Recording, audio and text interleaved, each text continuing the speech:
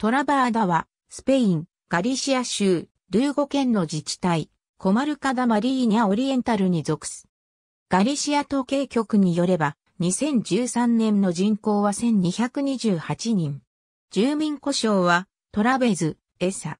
ガリシア語話者の自治体住民に占める割合は99.10%。トラバーダは、ルーゴ県の北東部に位置し、コマルカダマリーニャオリエンタルに属する。北は、リバデオと、バレーロスと、東は、アストゥリアス州と、南はポンテノーバと、西は、ローレンサーと、リオトルトと隣接している。トラバーダは、モンドニエード司法管轄区に属す。住民は8の教区の122の地区に居住する。自治体首長は、ガリシア国民党のホセマヌエル・ジャーネス・ヒンソ。自治体評議員は、ガリシア国民党、6、ガリシア社会党、2、ガリシア民族主義ブロック、1となっている。